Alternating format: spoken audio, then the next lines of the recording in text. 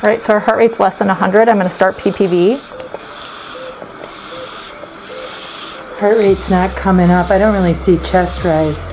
If there is no chest rise and the heart rate is not increasing after 15 seconds of PPV, start the Mr. Sopa ventilation corrective steps. Okay, let's try to reposition our mask and our airway.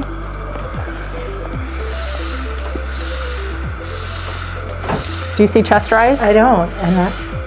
Heart rate's I don't hear not coming up. sounds. Okay, let's get our suction ready.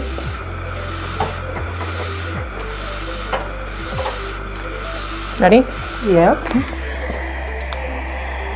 Okay, I'm gonna try to open the mouth.